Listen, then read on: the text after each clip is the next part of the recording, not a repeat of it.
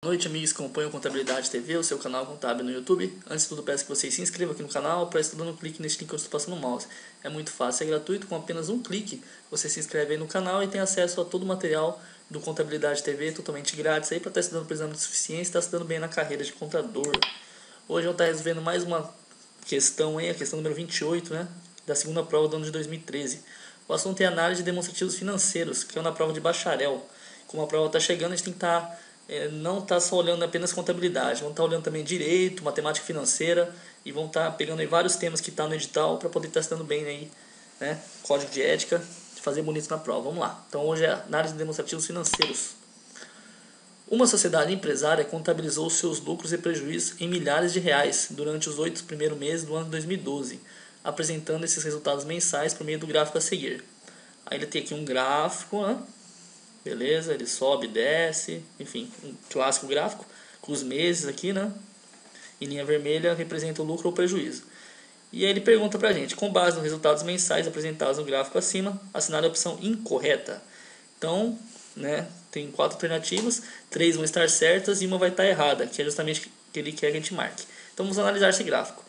Questão bem fácil essa, questão assim que quando cair na prova a gente não pode estar errando, por ser muito fácil mas tem que prestar bastante atenção, porque pode gerar um pouquinho de confusão. Basta apenas estar analisando o gráfico, né? Vamos analisar juntos aqui, ó.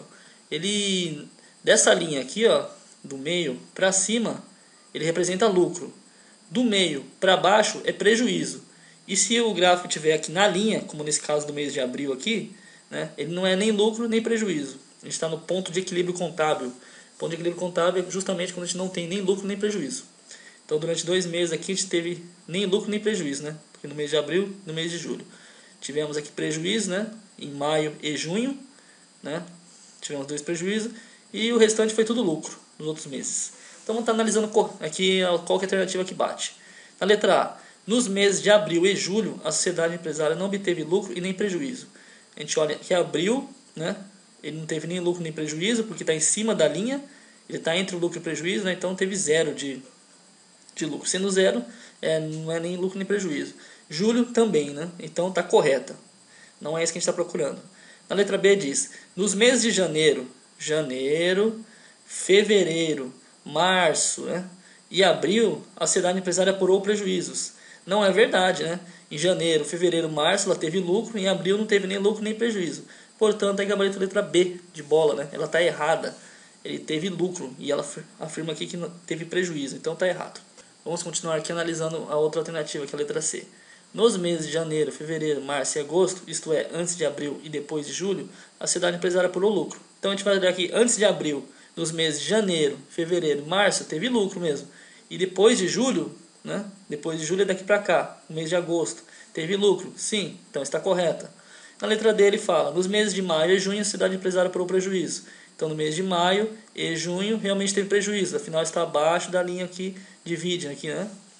Portanto, a única que está errada é a letra B de bola, que onde ele afirma que em janeiro, fevereiro, março e abril, a, empresária por preju... é, a sociedade empresária por prejuízo, quando na verdade já teve lucro, né? Só está acima da linha. Então, questão bem fácil aí, né? A linha aqui, se tiver na linha, né?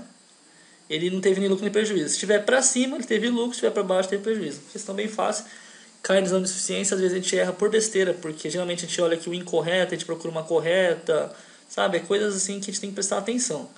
Tirando isso, bem tranquilo, eu vou estar aí fazendo uma outra questão agora do exame de suficiência que vai abordar o assunto de direito. Peço que se for alguma dúvida, por favor, se inscreva aqui no canal, basta dar um clique nesse link, é muito fácil, é gratuito. E é isso aí, galera. Muito obrigado por assistir o vídeo e até a próxima. Sucesso na carreira de contador. Um abraço, valeu, Deus abençoe.